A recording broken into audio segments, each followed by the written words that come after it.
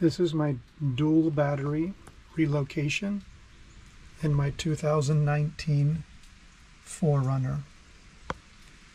I originally was using the Genesis kit.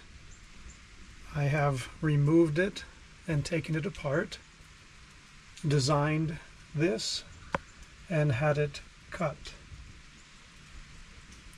You can see on the left I have the first battery. This is the starting battery. In the middle I have a fuse block and some other things I will show you from the front side.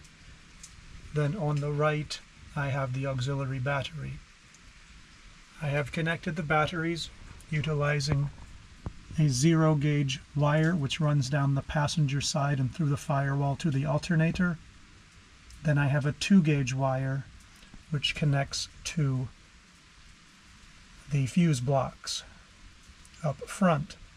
The second zero gauge you see here is going to the Warn winch up front. Now let's move to the front side.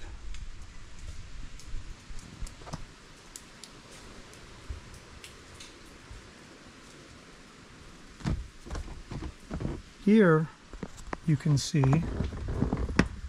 the middle where I have the fuse block. In addition to the fuse blocks in the middle, I have three circuit breakers.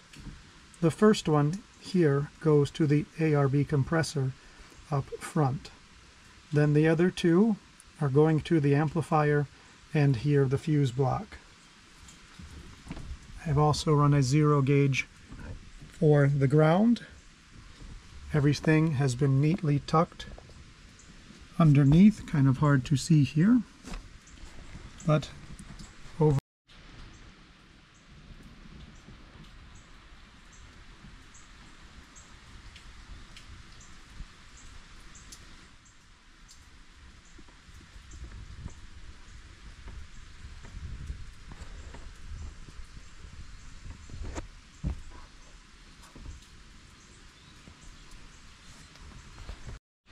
Finally, here you can see it with the seat up.